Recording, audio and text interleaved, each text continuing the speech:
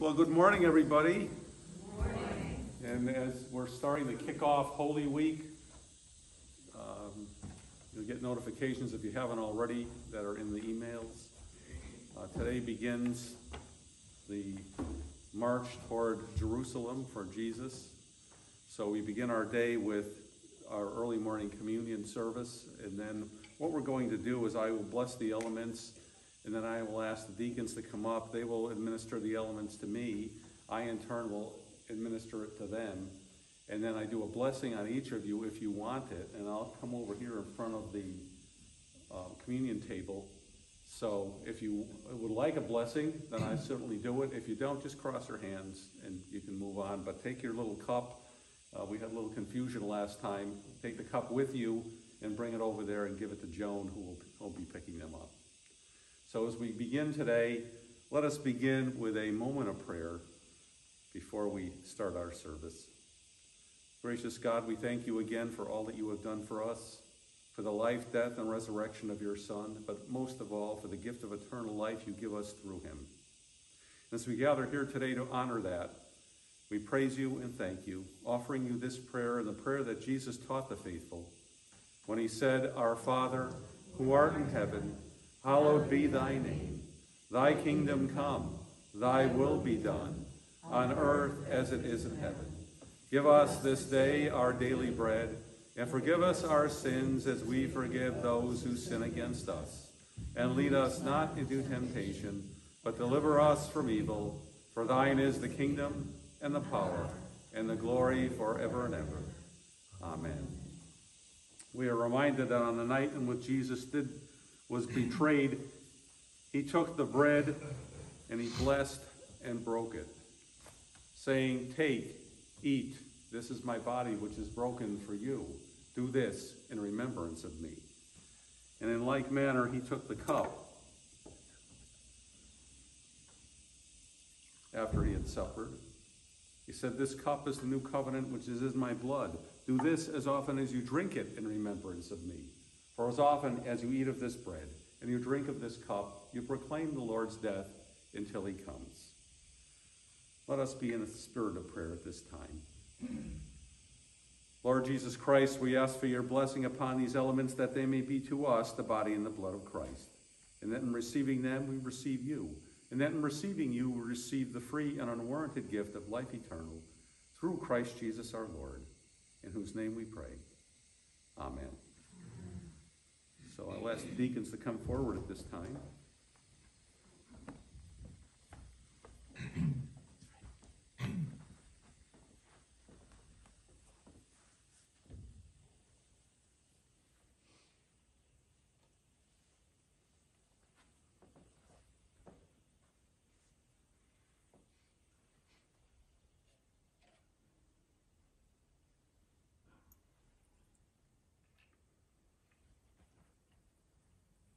Body of Christ, the bread of heaven. Body of Christ, the bread of heaven. Body of Christ.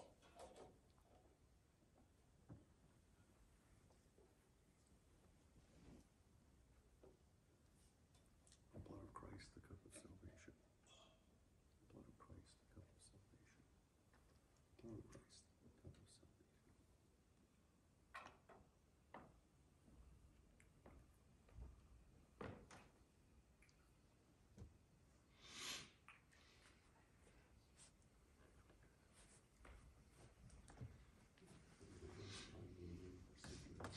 Jesus Christ, asking and calling upon upon Christ to uphold you and fill you with grace, that you may live here in time. His love.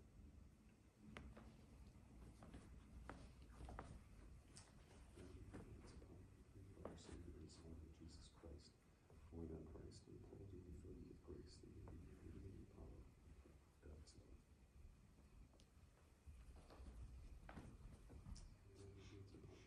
Our Savior and Son, Jesus Christ, calling on Christ to uphold you and fill you with grace, that you may live here in the power of God's love. At this time, I invite everyone to come forward.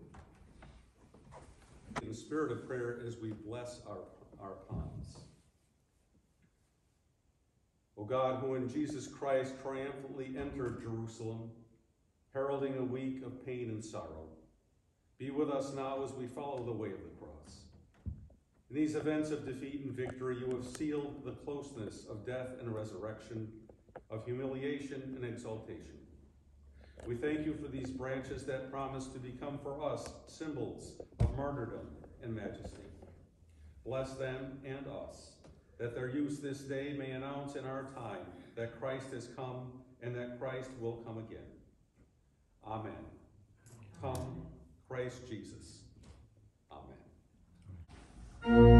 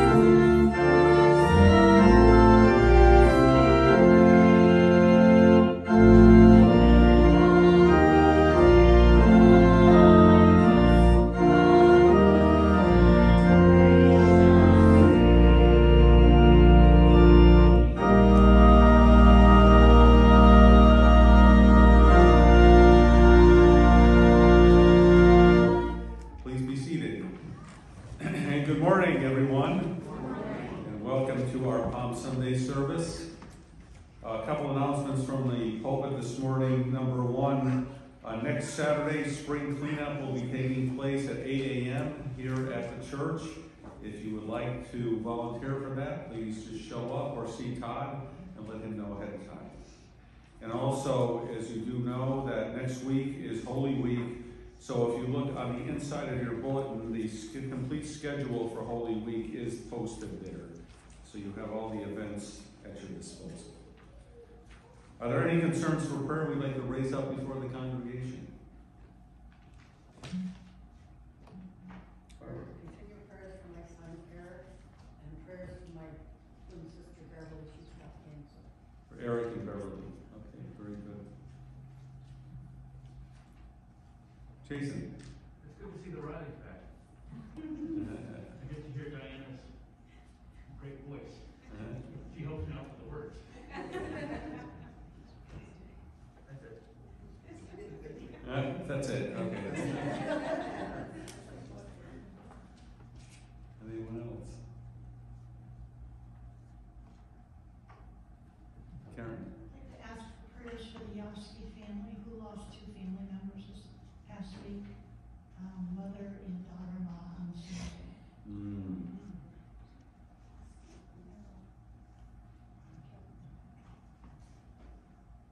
And Barbara, it was your, is Eric and Beverly, okay. Let's keep those people in our prayers during our prayer time. And as we begin, we begin with a reading taken from Psalm 118.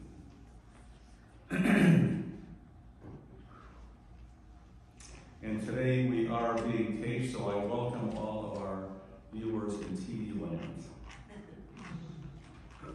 Give thanks to the Lord, for he is good. His steadfast love endures forever. Let Israel say, His steadfast love endures forever. Open to me the gates of righteousness, that I may enter through them and give thanks to the Lord.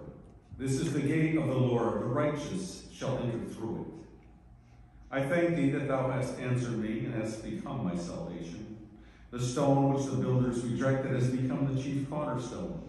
This is the Lord's doing. It is marvelous in our eyes. This is the day which the Lord has made. Let us rejoice and be glad in it. Save us, we beseech thee, O Lord. O Lord, we beseech thee. Give us success. Blessed be he who enters in the name of the Lord. we bless you from the house of the Lord. The Lord is good. He has given us light.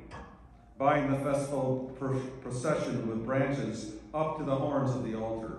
Thou art my God, and I will give thanks to thee. Thou art my God, I will extol thee. Oh, give thanks to the Lord, for he is good, for his steadfast love endures forever. this is just it, dear Lord. Your love is unconditional, and it does endure forever. No matter how far we have wandered, and we continue to wander from you, nations and people. In our own lives, we have looked the other way when we should have looked toward what was going on.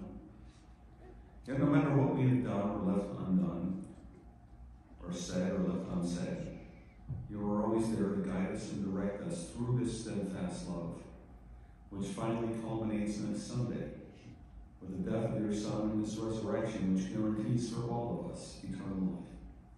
We praise you and thank you for this gift and ask that you help us to be worthy of it. For we pray this in Jesus' name. Amen. You please join with me in our unison prayer of invocation.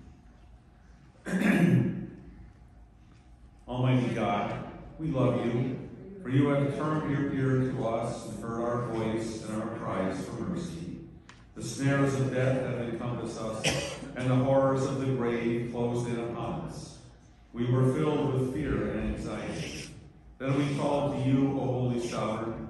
We beg you to save us, and you who are merciful and good, compassionate and kind, deliver us from death by the gift of your Son, Jesus, who, for our redemption, descended from the highest heaven and took upon him our flesh to bear our sins and sorrows, and setting his face steadfastly to the place of his suffering, willingly for us came under the power of death.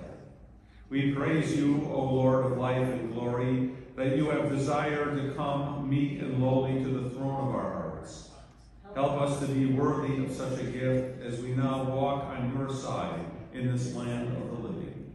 Holy Lord Jesus, we pray in your name. Amen. Our hymn of adoration is hymn number 291, Thine is the Glory.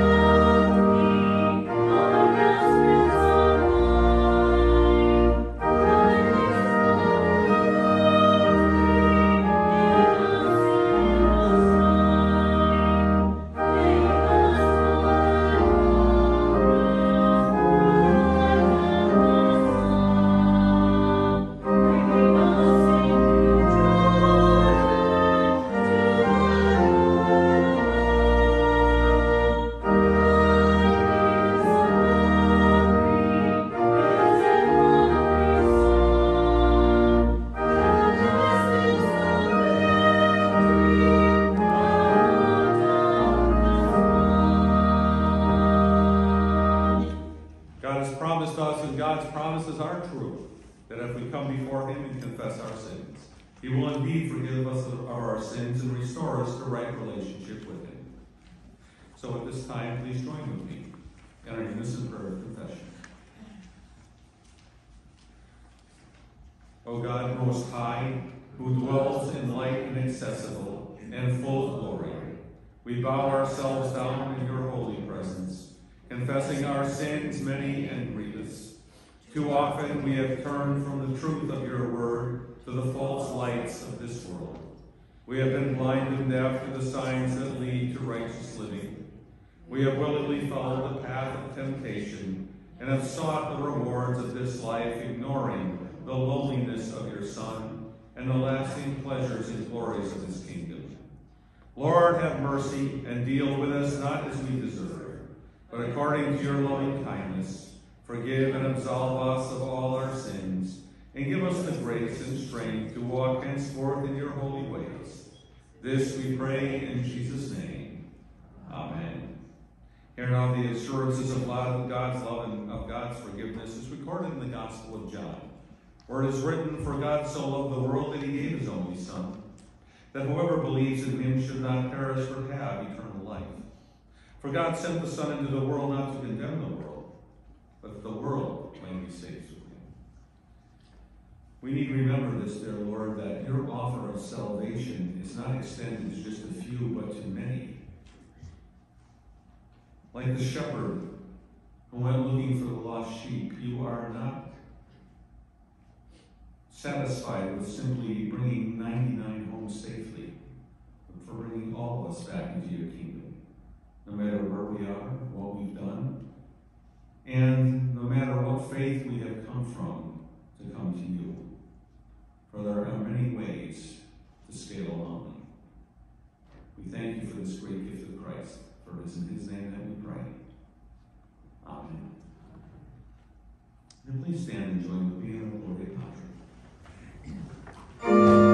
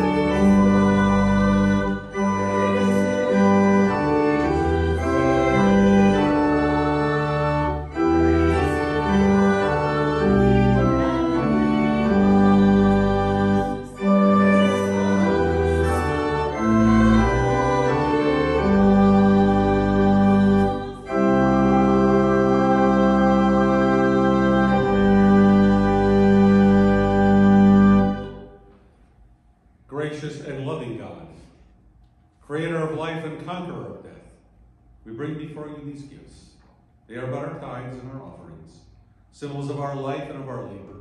And we ask that you take them and use them, and take us and use us for the spreading of your gospel and the work of your church, both here and throughout the world. This we pray in Jesus' most holy name. Amen. Please be seated. And as you remain seated, would you join with me in our call to prayer?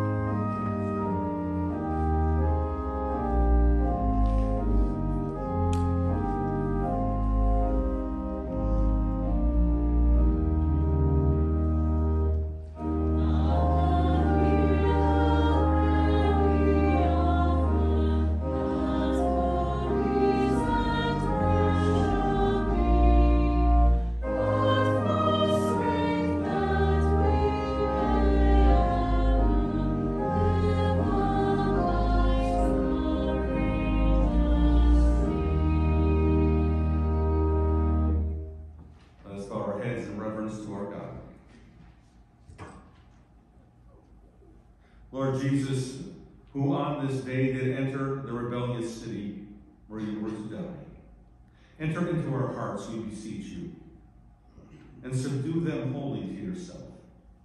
As your faithful disciples blessed your coming and spread their garments in the way, covering it with palm branches, may we likewise be ready to cast ourselves and all that we are in joyful reverence before you, and to bless you and honor you who comes in the name of the Lord. Jesus, grant that after having worshipped and confessed you on earth, we might be among the number of those who shall proclaim your eternal triumphs and bear in our hearts the palms of victory, where every knee shall bow before you, and every tongue confess that you are Lord, King of kings, and the glory of heaven, from whom abides dominion, power, glory, and honor, now and forever. Holy God, who sees the pain and suffering that reign in this passing world, have mercy upon all who suffer in mind and body. Look down with pity upon the poor, the oppressed, the outcast, and all who are heavy laden with care, astray in sin, or tormented by an accusing conscience, and give them peace. Especially this week, we raise our voices in prayer to the people in Ukraine who have lost loved ones, homes, livelihood, and life. May you defend them and give them aid in their time of need, and reassure that such deeds will not go unpunished. For as you have promised this far back in the book of Deuteronomy, it is mine to avenge, I will repay. In due time their foot will slip, the day, their day of disaster is near, and their doom rushes upon them. Give ear to these prayers, and to the prayer concerns and joys we raise before you this morning, for they are offered in Jesus' most holy name. Amen.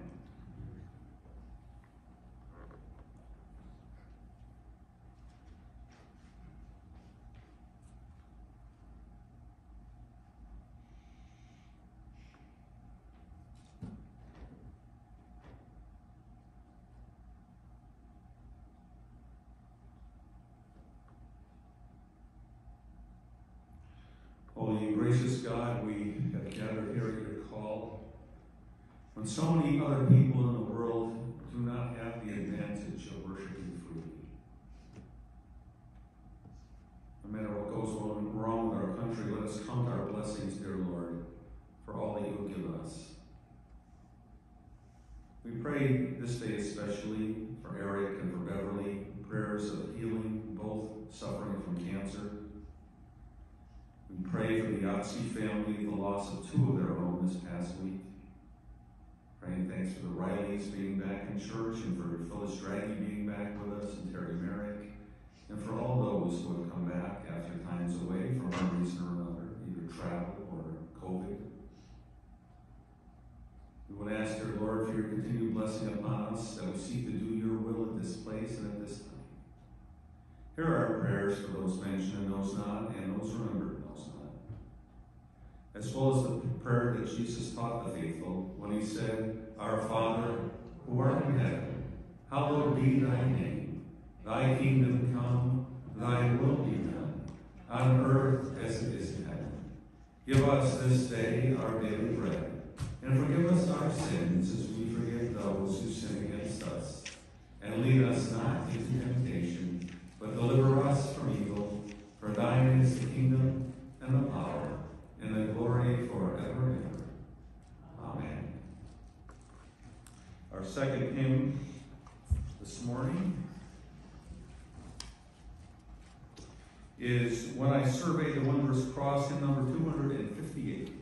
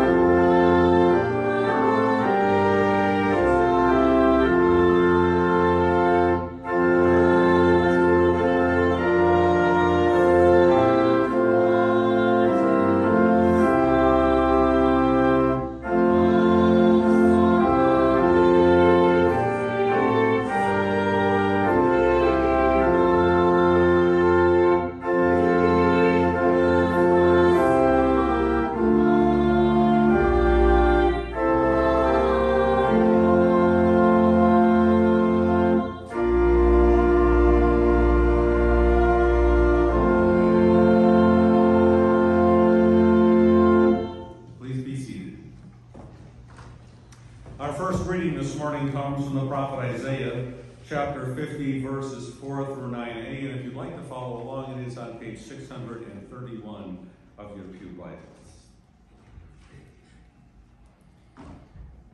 The Lord has given me a tongue of those who are taught, that I may know how to sustain with a word him that is weary. Morning by morning he wakens, he wakens my ear to hear as those who are taught. The Lord God has opened my ear, and I was not rebellious. I turned not backward. I gave my back to the smiters and my cheeks to those who pulled out the beard. I hid not my face from shame and spitting. For the Lord God helps me. Therefore I have not been confounded. Therefore I have set my face like a flint, and I know that I shall not be put to shame. He who vindicates me is near. Who can contend with me? Let us stand together. Who is my adversary? Let him come near to me. Behold, the Lord God helps me. Who will declare me guilty?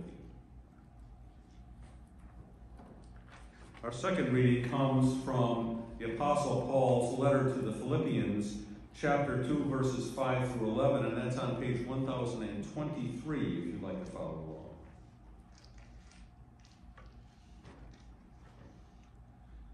Have this mind among yourselves which you have in Christ Jesus, who taught, who though he was in the form of God, did not count equally with God a thing to be grasped, but emptied himself, taking the form of a servant, being born in the likeness of men, and being found in human form, he humbled himself and became obedient unto death, even death on a cross. Therefore God has highly exalted him and bestowed upon him the name which is above every name, that at the name of Jesus every knee should bow in heaven and on earth and under the earth, and every tongue confess that Jesus Christ is Lord, to the glory of God the Father.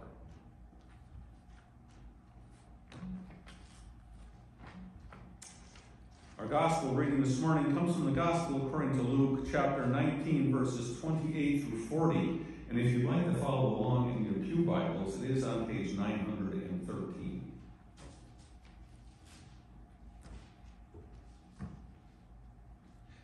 And when he had said this, he went on ahead, going up to Jerusalem. When he drew near to Bethphage and Bethany at the mount which is called Olivet, he sent two of the disciples, saying, Go into the village opposite, where on entering you will find a colt tied, on which no one has ever sat. Untie it and bring it here. If anyone asks you, Why are you untying it? you shall say this The Lord has need of it. So those who were sent went away and found it as he had told them. And as they were untying the colt, its owner said to them, Why are you untying the colt? And they said, and they said, The Lord has needed it.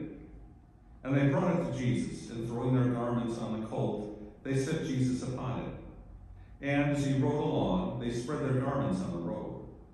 As he was now drawing near at the descent of the Mount of Olives, the whole multitude of the disciples began to rejoice and praise God with a loud voice for all the mighty works that they had seen, saying, Blessed is the King who comes in the name of the Lord, peace in heaven and glory in the highest.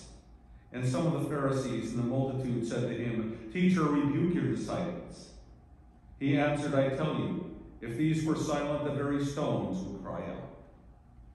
May God bless these readings and bless our understanding of them, always to his glory. Amen. Let us be in the spirit of prayer at this time. Lord, as we witness your rejection by the religious and secular authorities, the hatred of the crowd at your cross, and even the betrayal of your own disciples, we confess our own many cowardly betrayals of you. Each of us, in our own ways, have played a part in the world's rejections of you. Sometimes the world has turned from you due to the lack of witness we have provided. The world has looked at us and the way we live our lives, what we value, the things we say and do toward our neighbors, and has rejected you because of us. At other times, when the world has followed its own way of power, oppression, and greed, we have, much to our disgrace and shame, been led by the ways of the world, rather than follow your way of love and justice. For all the ways we have rejected you, even the times we are unaware of our rebellion, remember again that you are a God of love and mercy, and be pleased, we ask, to forgive us.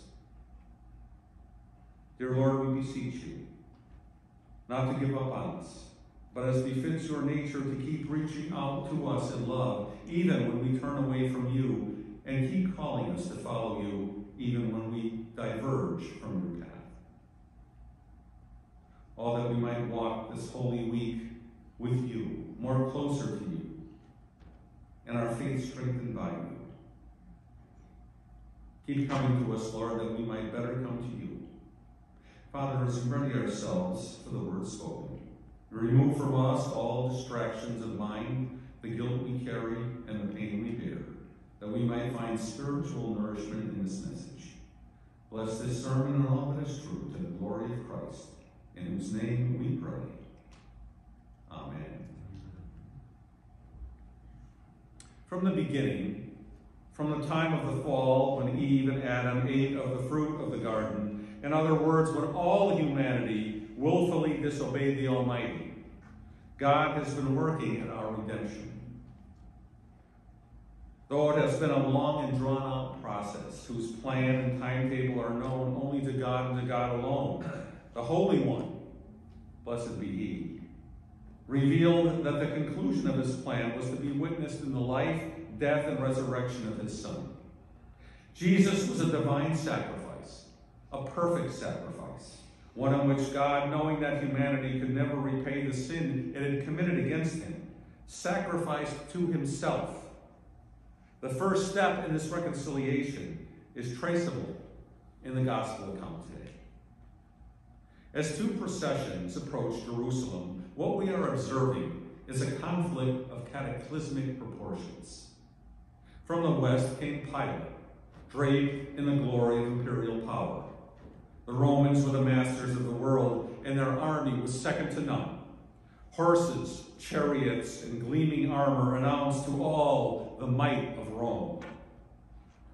On fear of death or reprisal, there were few who dared go against the Roman authority. For those who did, death on a cross, the most horrific of executions in the ancient world, awaited. From the east came another procession, a ragtag group, followers of a little known rabbi from Nazareth. Lacking the polish and discipline of a professional army, this group wore cloth and not armor, carried no weapons, walked and did not march in formation, and most importantly, sought to worship God and not dominate the landscape and its people through acts of violence, terror, and intimidation. Still, it was a conflict in the making. The forces of the world represented by the Romans, with all its emphasis on the tangible, of money and power, of that which can be measured and felt, pitying themselves against the world of the Spirit, represented by Jesus, that which cannot be measured or felt, or even seen, the world that can only be known through faith. The opening scene is one filled with meaning and symbolism that those in the crowd who knew of such things could well recognize. It is significant that Jesus approaches Jerusalem from the Mount of Olives, the spot where tradition held that the Messiah would appear. Ahead of, ahead of him, he sends two disciples to act as an advance guard. It is a practice Jesus has employed as far back as when he sent the disciples out to go and preach to each town, preach a sermon of repentance. The two disciples who remain unnamed are to enter the village ahead of him, and in all likelihood, this village is Bethphage, and retrieve a colt on which no one has ever sat. In other words, the colt is one that has not been put to secular use. If anyone is to question the colt that's being taken, the disciples are to answer, the Lord has need of it. As such, Jesus is identifying himself as Israel's Lord, who needs and proposes to fulfill his mission, his chosen mission. And these needs are greater than any human concern. The unnamed disciples do as they are instructed. And sure enough, as they are untying the colt, its owners said to them, Why are you untying the colt? And they said, The Lord has need of it. The repetition serving again to highlight the importance of the event. And they brought it to Jesus, and throwing their garments on the colt, they sat Jesus upon it. And as he rode along, they spread their garments on the road. Well, the spreading of garments upon the, upon the path Jesus is taking was meant as a token of honor. It is a practice that dates back approximately to 841 BC, when Jehu was proclaimed king in the second book of Kings. The writing in on a colt would remind the crowds of the words recorded by the prophet Zechariah, chapter 9, verse 9. Rejoice greatly, O daughter Zion. Shout aloud, O daughter Jerusalem. Lo, your king came to you. Triumphant and victorious is he, humble and riding on a donkey, on a colt, the foal of a donkey. as he is now drawing near. At the descent of the Mount of Olives, the whole multitude of the disciples began to rejoice and praise God with a loud voice for all the mighty works that they had been seeing. Blessed is he who comes in the name of the Lord. Praise in heaven and glory in the highest. In short, the disciples praised God using the same words that were used when Israel crowned a new king. The crowds are exuberant, energetic, excited, high spirited, and cheerful, and for good reason. On the one hand, that Jesus fulfills what the prophets before him have said. On the other hand, his acts and the events in his life fulfill what he has said. Still, despite witnessing some of Jesus' mighty works, miraculous signs and wonders, this crowd, which at the moment cannot restrain its delight, will in but a few days observe their mighty king hanging from a cross, wearing a crown of thorns, and mock this king of the Jews. What has happened? Are the crowds so fickle? Or are they just intimidated by the might, power, and ruthlessness of the Roman legions? I believe there's a third option, namely that in their enthusiasm to embrace Jesus, they have failed to recognize the meaning of the prophetic signs that have announced his arrival.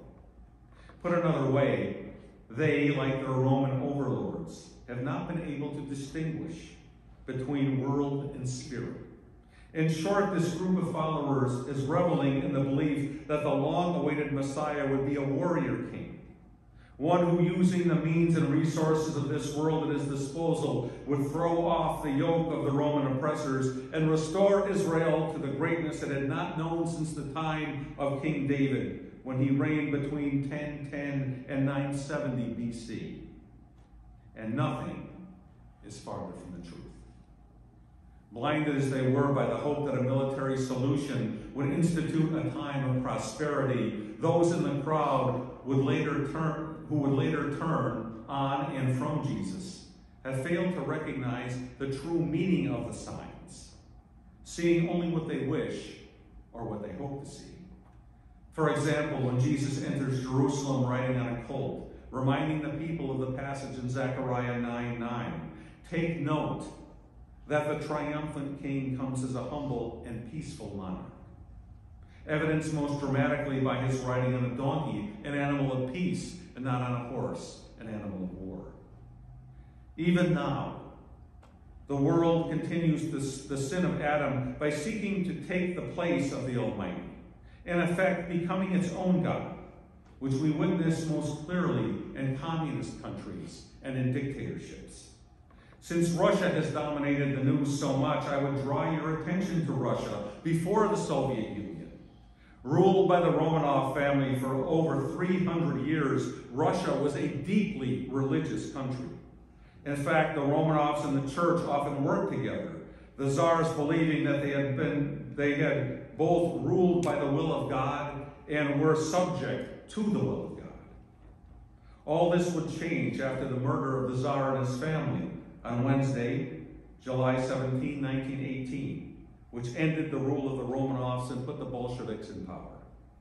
During the Soviet era, over 100,000 Christian churches, around 20,000 Muslim mosques, 500 Buddhist temples, and 1,400 synagogues were destroyed.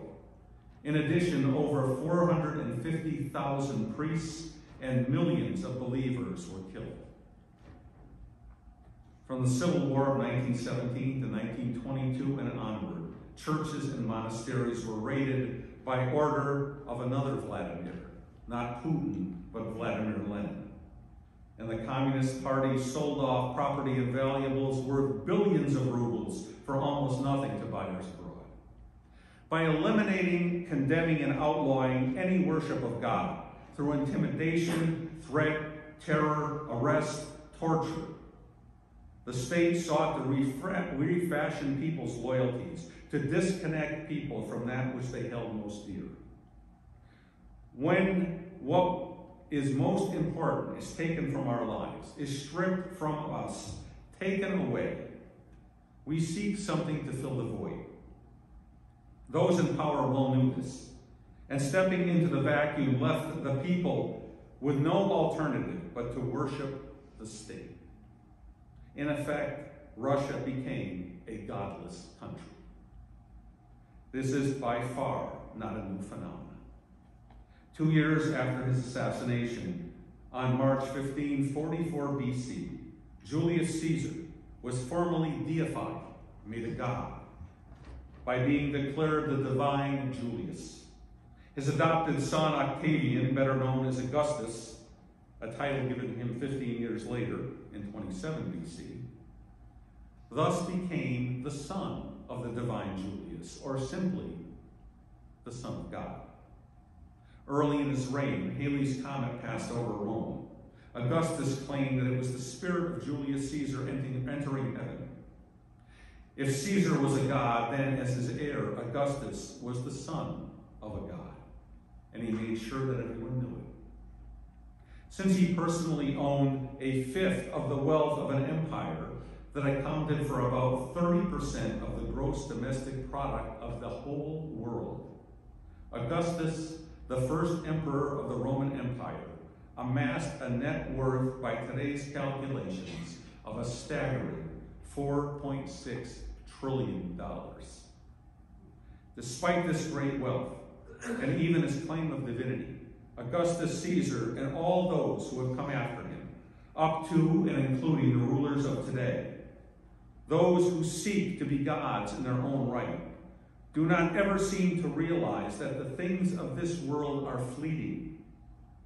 Though they might wage war, conquer countries, and imprison people, like the Romans in Jesus' time and the Russians in our time, the one thing the world and its leaders cannot offer is salvation. As the psalmist declares, With the Lord on my side, I do not fear. What can man do to me? In like manner, the prophet Isaiah proclaims the Lord Almighty is the one to, to be regarded as holy. He is the one you are to fear. He is the one you are to dread. Jesus echoes this sentiment when he says, And fear not them that will kill the body, but are not able to kill the soul, but rather fear him who is able to destroy both the soul and the body in hell. Jesus rode into Jerusalem on a donkey to show that the Messiah was contrary to what people came to believe or to expect. He was not a man of war, but a man of peace, not one who sought to conquer hearts by force, but by love. His presence announced to the kingdoms of this world that their strength was but an illusion, their power fleeting, and their empire short lived. In contrast, as Jesus will later declare to Pilate, my kingship is not of this world. In effect, saying that it is eternal and not temporal, everlasting and not momentary, boundless and not finite. Consequently, it logically follows that his kingdom is not of this world, neither is his power. While the Romes and the Russias of this world may control lives for a season, Jesus ensures life for eternity. While the rulers and dictators, the tyrants and the despots seek to control and manipulate all aspects of life, they cannot enslave the soul. For the psalmist says, Our God is a God of salvation, and to God, the Lord, belongs escape from death. And for that, let the people answer and say,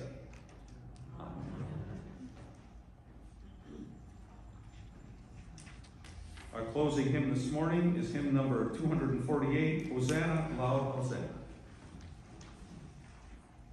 Hosanna.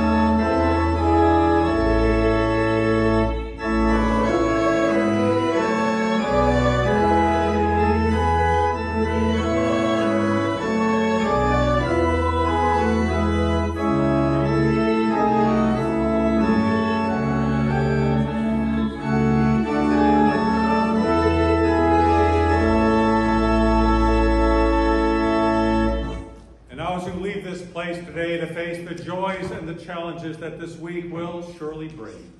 Leave here with the promise of Christ in your hearts and upon your minds. When he said, I am the resurrection and the life. He who believes in me, though he die, yet shall he live. And whoever lives and believes in me shall never die. Go in the peace of Christ. Amen.